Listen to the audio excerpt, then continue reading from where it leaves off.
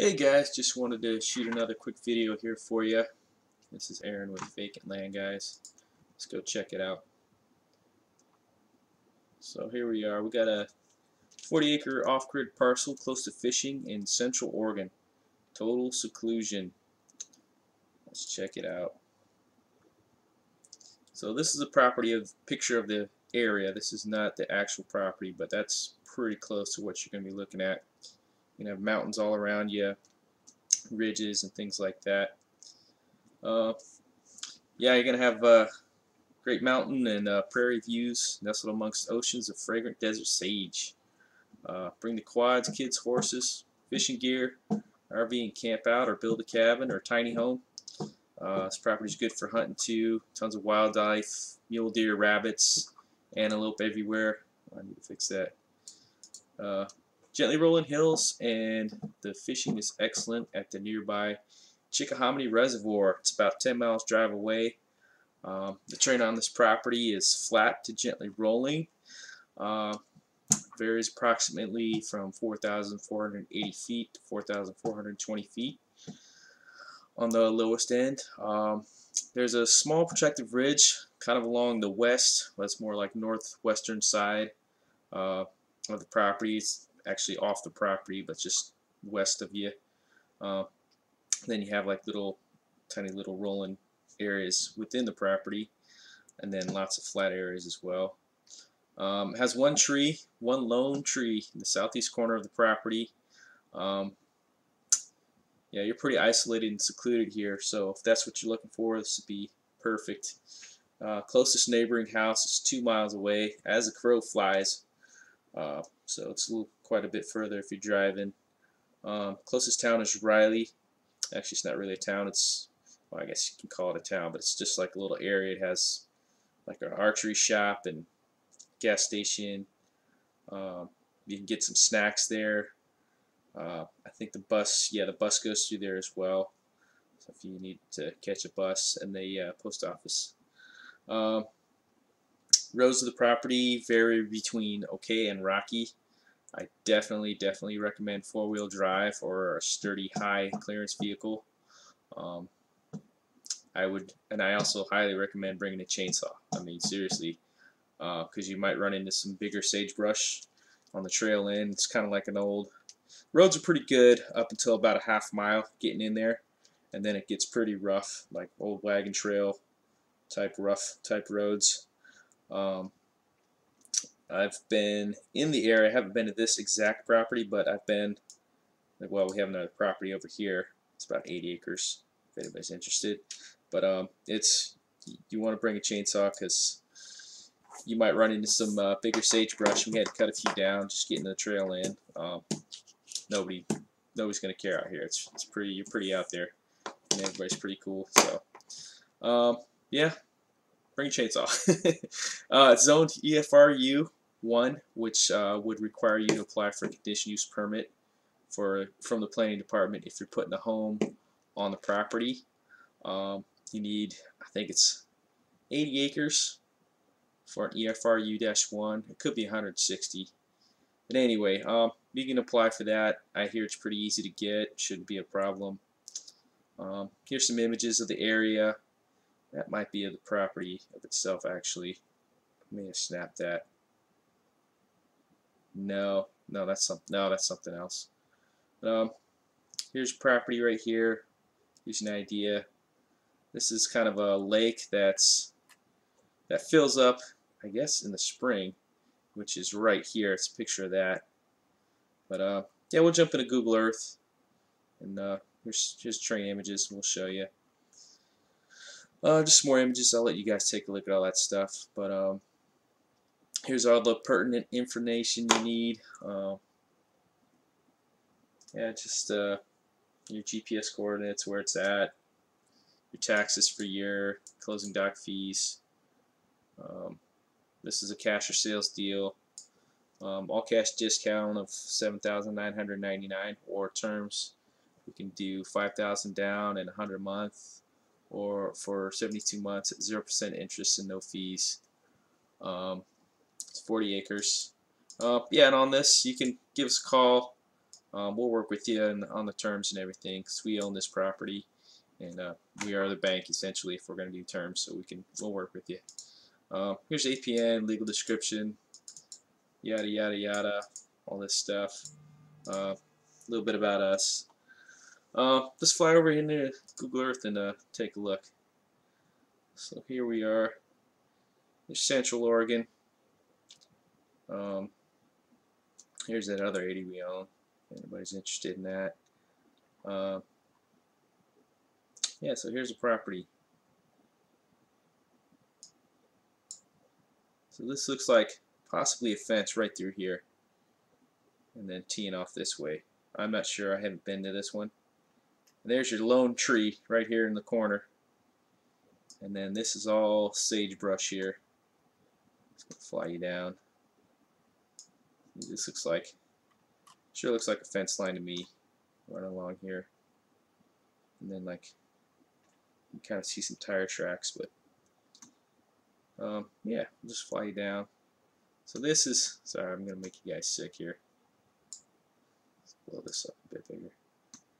So this is facing north. So yeah, that sure looks like a road, maybe a fence or something right there. There's one corner, here's another corner. So this is facing north, so you, you slope slightly rolling hills here and there. And then facing east you can build up on this ridge here. You can have a view of these beautiful mountains here.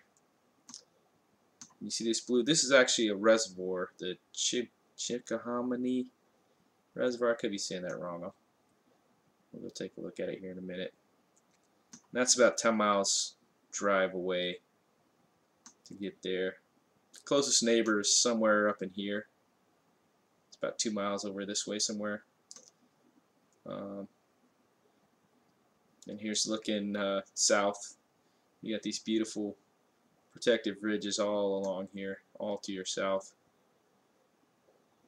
and even to your to your east a little bit too. So let's fly down. So you got, let's try to get down here right on the ground. So you get like a little ridge that kind of runs along the west side of the property here.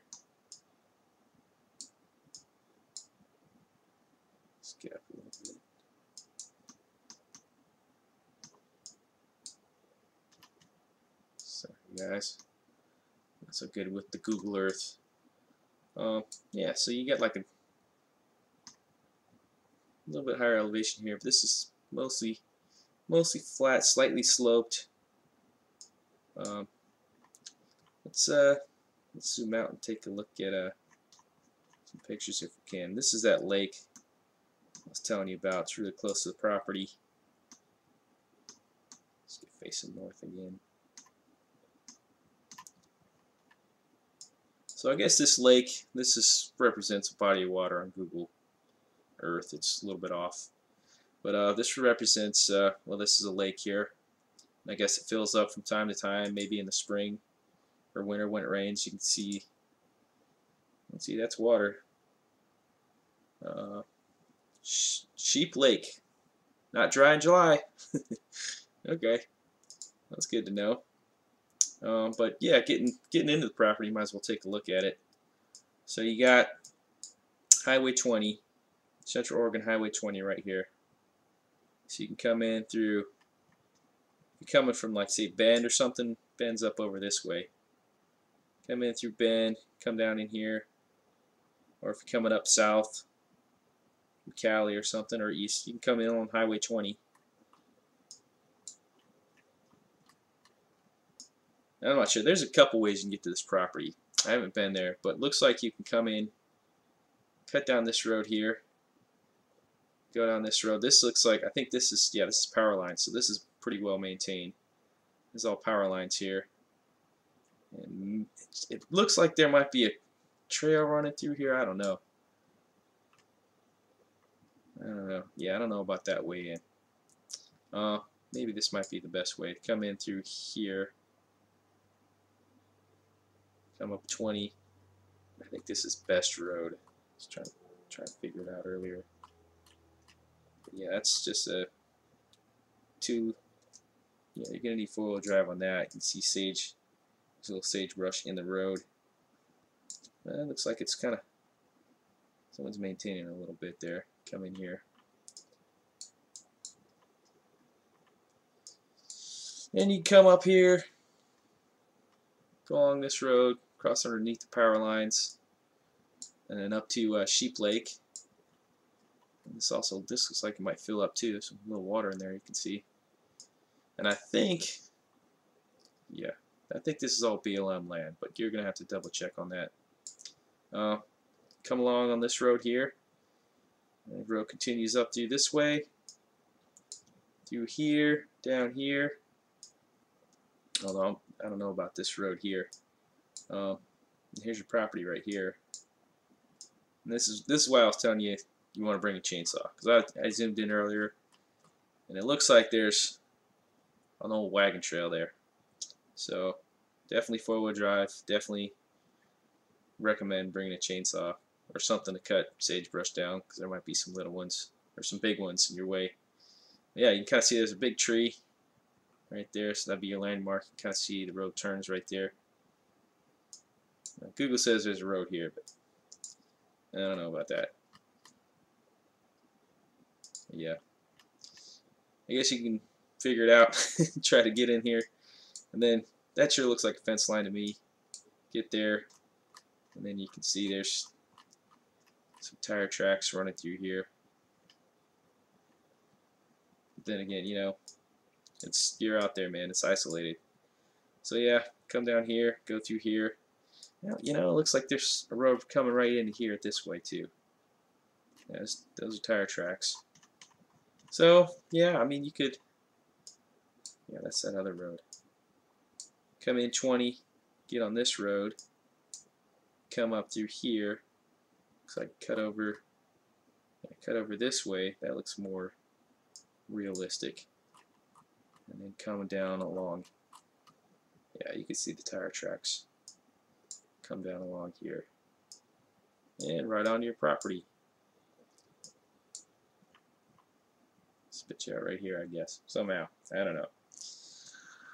But, uh, yeah, that's, uh, let's take a look at some pictures. I already looked at Sheep Lake.